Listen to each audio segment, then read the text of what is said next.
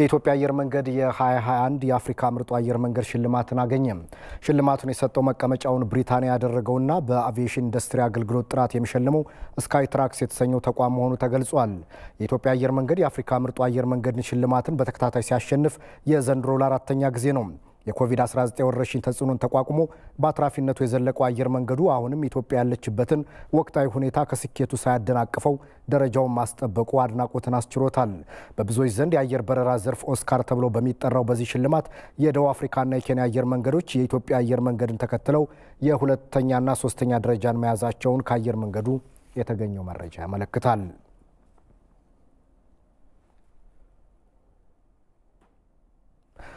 ብርሃን ባንክ የቁጠባ ባህልን ለማዳበርና የውጭ ምንዛሬ ሐዋላ አገልግሎት ሕጋዊ መስመር እንዲከተል ለማድረግ ባከናወናቸው የማበረታቻ መርሃ ግብሮች ውጤት ማስመዝገቡን አስታወቀም።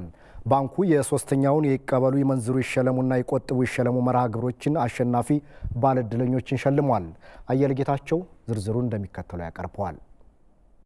ብርሃን ባንክ የውጭ ሀገራት ገንዘቦችን በባንኩ በኩል የሚቀበሉና በባንክ ለሚመነዝሩ ደንበኞቹ ሽልማት መርሃ ግብር ሲያዘጋጅ ይህ ለሶስተኛ ጊዜ ነው። ባንኩ ከዚህም በተጨማሪ ለመጀመሪያ ጊዜ በባንኩ ለሚቆጥቡ ደንበኞቹ ያዘጋጀውን የሽልማት መርሃ ግብር ጨምሮ በሁለቱ መርሃ ግብሮች አሸናፊ ለሆኑ ደንበኞቹ ሽልማቶችን አበርክቷል።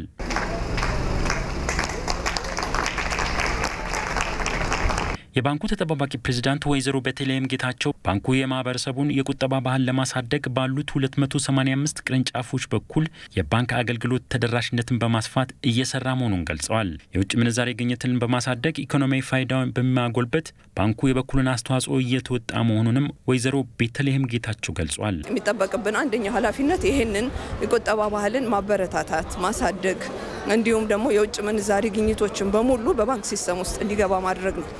ከዚህም ጋር ተያይዞ እንግዲህ ይህንን የሽልማት መርሃ ግብር አከናውነናል። በባለፉትም ዓመታት እያየነውም ነው። በጣም የተሻለ ለውጥም አምጥቷል። በይቆጥቡ ይሸለሙና ይመንዝሩ ይቀበሉ ይሸለሙ መርሃ ግብር ተሸላሚ ደንበኞችም ዜጎች የባንክ አገልግሎትን በመጠቀም ለሀገር ኢኮኖሚያዊ ፋይዳ የበኩላቸውን አስተዋጽኦ መወጣት እንዳለባቸው ተናግረዋል። ቆጥብ ነበረ። መቆጠቤ ረድቶኛል። ይሄ ትልቅ እድል ነው። እዚህ ላይ ሰዎች ወደ ቤት ከመሄዳቸው በፊት ቢቆጥቡ ከተቆጠበ በኋላ በትርፉም መስራት ይቻላል። ቅድሚያ ለዚህ ለቁጠባው ቢሰጡ ይሄንን አበረታታለሁ። የውጭ ምንዛሬ በመጠቀም እድለኛ ሆኛለሁ። ደስ ብሎኛል። ማለት ሁሉም ሰው እንዳልኩት በህጋዊ መልኩ ብንጠቀም አንደኛ ለሀገራችንም፣ ሁለተኛ ደግሞ ለትክክለኛ ለህሊናችንም የሚጠቅመን እንደዛ ስለሆነ ማለት ነው።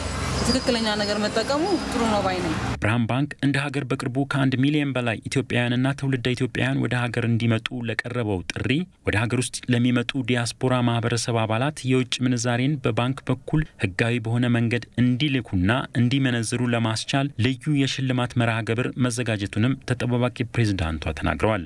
በባንካችን በኩል የሚመጣው በ system ውስጥ የሚያሳልፉት በ remittance ውስጥ የሚላከው ገንዘቦችን የሚጫንባቸውን የአገልግሎት ክፍያዎችን በማስተካከል ጫናውን በመቀነስ በተጨማሪም ደግሞ በዶላር ወይም በ cash ይዘው በጥሬ ገንዘብ ይዘው የሚመጡትን ገንዘቦችን ደግሞ በምንም አይነት ከዚህ ቀደም በተለምዶ እንደሚሆነው ወደ ሌላ ወይም ወደ ጥቁር ገበያው እንዳይሄዱ ለየት ያለ የመርሃ ፕሮግራም አዘጋጅተናል። በሁለቱ የሽልማት መርሃ ግብሮችም ሁለት ሱዙኪ አውቶሞቢሎችን ጨምሮ በአጠቃላይ 80 ሽልማቶች ለባለ ዕድለኛ ደንበኞች ተበርክተዋል።